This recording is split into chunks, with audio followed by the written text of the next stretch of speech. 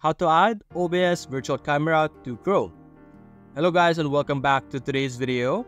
And in today's video, we will be teaching you how you will be able to add the OBS virtual camera to your Google Chrome and use it for your different platforms. The first things first, you're going to have to set it up in your OBS first. You need to enable the virtual camera.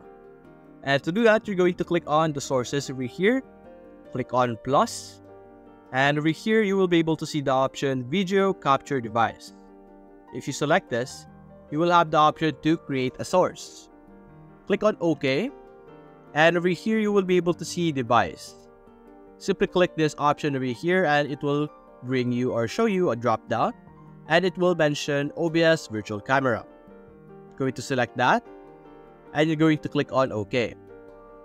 I'm going to minimize this for now so that you guys can see my screen and after that, after enabling it, you're going to go to your Google Chrome, click on the three dots, go to settings, and search for CAM.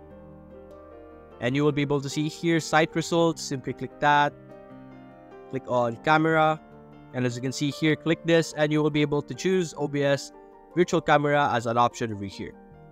And that's basically it guys. If you enjoyed this video, leave a like and subscribe. Thanks for watching.